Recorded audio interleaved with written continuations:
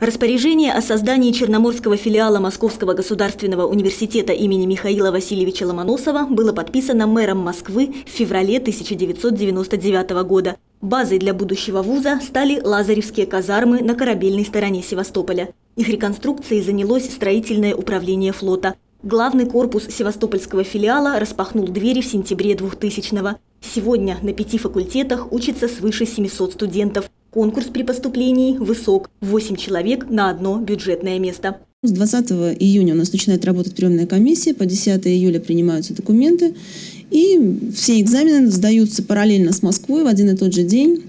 С 10 июля по 26 июля проходит вступительная кампания, э, сдаются дополнительные вступительные испытания, и при отсутствии ЕГЭ еще три дополнительных вступительных экзамена. Обучение в филиале длится 4 года. Выпускникам присваивается степень бакалавра. ВУЗ готовит историков, филологов, журналистов, математиков, физиков, географов, психологов, управленцев. Студенты регулярно участвуют в международных семинарах и конференциях. Исследовательские труды и доклады публикуются в научных сборниках. В апреле будет крупнейший международный молодежный форум «Ломоносов».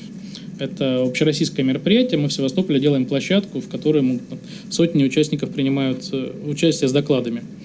Эм, потом будет в марте Севастопольский молодежный медиафорум. В октябре будет фестиваль науки, и в ноябре у нас ну, лазаревские чтения тоже с молодежным участием. Студенты публикуются, попадают в сборники работ. На конференции обсудили актуальные проекты и задачи, которые сегодня ставит перед собой руководство филиала. Так, в новом учебном году в ВУЗе откроют магистратуру. Учебные планы разработали по четырем направлениям. Это направление туризм, связи с общественностью и реклама, государственный аудит и четвертое направление – прикладные математика и физика.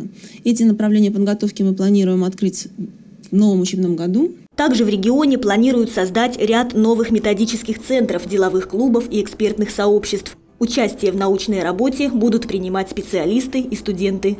В чем наша роль еще в развитии регионов? Чтобы наши выпускники, которых мы готовим, готовим их по лучшим мировым стандартам, э, оставались здесь. Одна из задач наша – это формировать э, вокруг филиала или вокруг э, ну, там, правительства регионов, регионов такие связи, экспертные сообщества, научно-методические центры, в которых студенты могли бы быть вовлечены уже на ранних этапах. У нас был заключен договор и создан научно-методический центр там, ну, программного управления вместе с дирекцией по Управлению федеральной целевой программы развития Севастополя и Крыма. Такой же центр, например, создан с департаментом создается сейчас э, архитектуры и градостроительства. Говоря о предстоящих событиях, на лето намечено проведение мероприятий, посвященных году экологии. У нас есть большой лабораторный корпус, есть сейчас территория э, с причалом, то есть выход в акваторию, э, где мы планируем сделать такой кластер по наукам на Земле.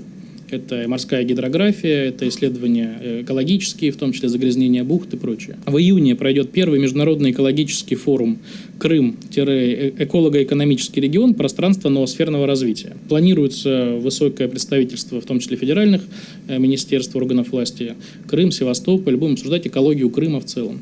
Поддержку в ВУЗе оказывают не только студентам, но и молодым бизнесменам. К примеру, для них работает школа стартапа, интенсивный курс по предпринимательству, мастер-классы, тренинги, презентации и лекции о том, как открыть собственное дело с нуля. 25 января в Севастопольском филиале МГУ отметят День святой мученицы Татьяны, покровительницы студенчества. Празднования начнутся в 10 утра и продлятся до 19 часов. В программе традиционный молебен, дегустация медовухи, приготовленной по секретному рецепту, и праздничный концерт. Анастасия Синица, Виталий Коломиец, информационный канал Севастополя.